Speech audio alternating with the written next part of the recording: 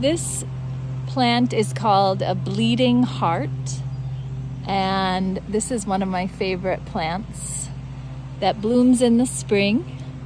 And they get this sweet flower that looks like a bleeding heart, I suppose.